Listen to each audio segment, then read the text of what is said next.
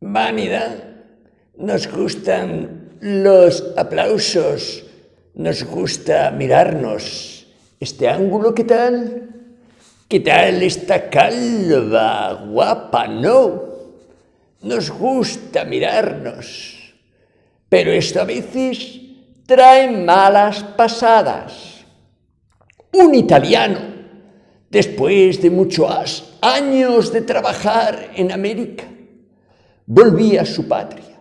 Todos los dineros los había convertido en un precioso diamante. Allí iba toda su fortuna, tantos años de trabajo. Viajaba en barco y en esas empezó a jugar con unas naranjas.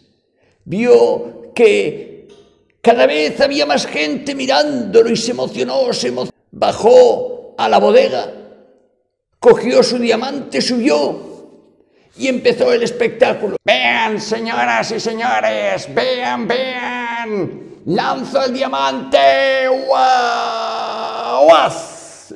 atrapelo.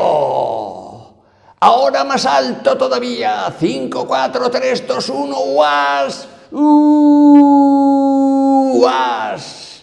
atrapelo y ahora lo voy a lanzar todavía más alto. Los que allí estaban le decían, Señor, no lo haga, no lo haga, es su fortuna, es su familia, no lo haga. Vean, vean, vean de lo que soy capaz de hacer. Lo lanzaré todavía más alto. En estas viró el barco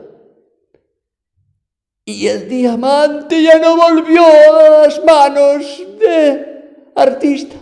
Se quedó en el fondo del mar, matarile, Señores, por favor, por favor, no sean vanidosos.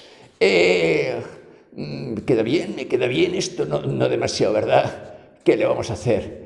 Pues esto es lo que hay.